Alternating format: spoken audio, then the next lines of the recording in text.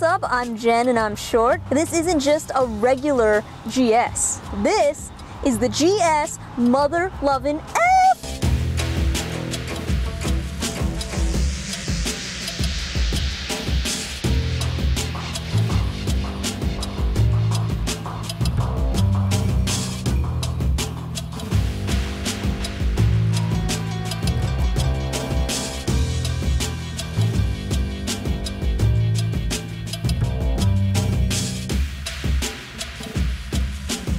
This one's in a delightfully bright shade of orange called Molten Pearl and matching calipers. Now I know this color is not for everyone, I get that.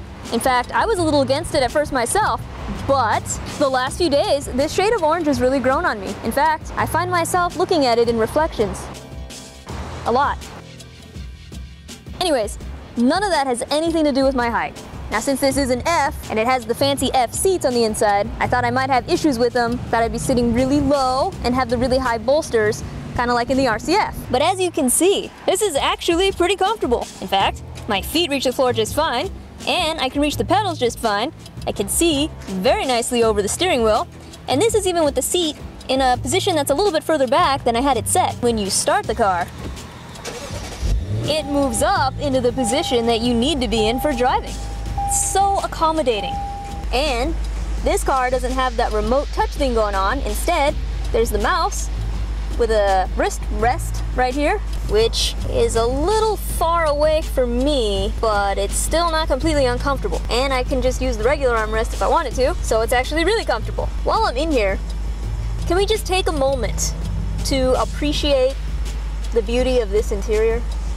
Look at the detail in here. Look at the materials used. It's amazing. All right, sorry, I digress. Let's check out the hood situation.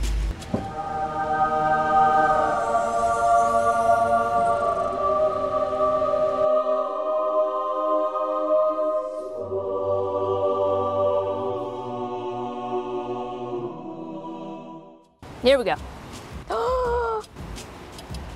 Do you remember the RCF? I could not reach that hood from the front. I had to go around to the side. Oh my God. It's magical. Can we just can we just take a second here to appreciate this carbon fiber lip spoiler on the trunk? All right, this trunk is massive. I think I could live back here.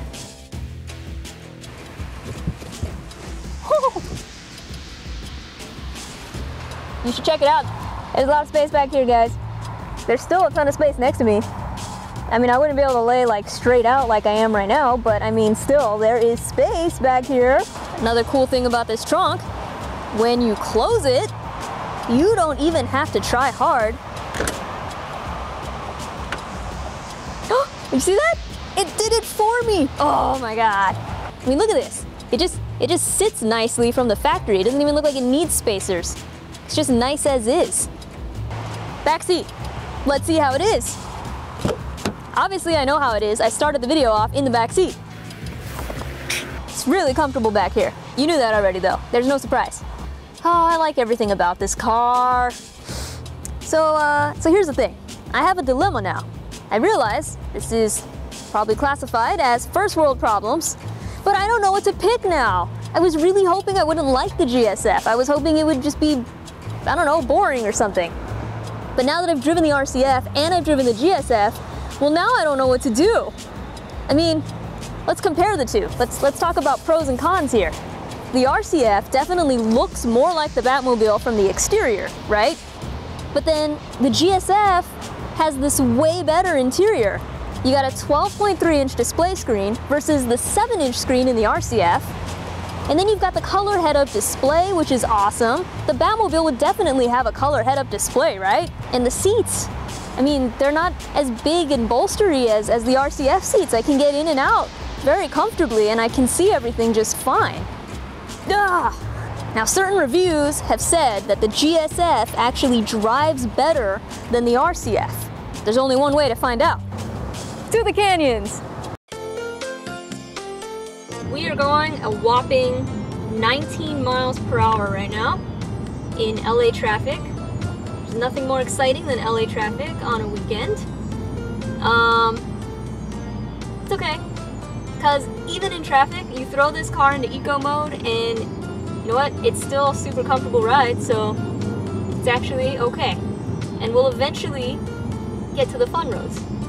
But for now, doing a whopping 20, 15, 14, all right. Woo!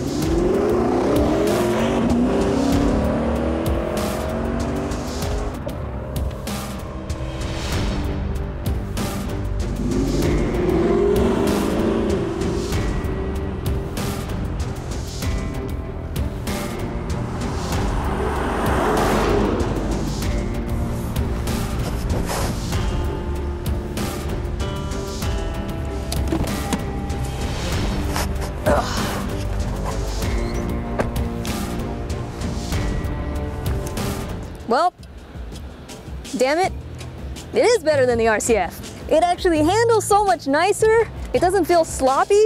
Oh, this car is awesome. This car is awesome. I love it. I love it so much. but I really liked the exterior styling of the RCF better because I feel like Batmobile would be driving a coupe, right? He wouldn't be driving a sedan, even if it is a sports sedan, right? Oh, if I could just have the RCF exterior, but then with the GSF interior and technology, like the head-up display and the bigger screen, and even the GSF handling. But you just have like both. Don't worry, I will solve this dilemma soon. If you enjoyed this video, give it a like, and if you want to see which car I end up choosing, well then click that subscribe button. And in the meantime, feel free to check out any of my previous videos. I make videos with all kinds of vehicles to show you what it's like from my height challenge perspective. Questions, comments, concerns? Leave them in the comments down below, or you can leave them on my Facebook page. Thanks so much for watching, but now it is time to roll the F out.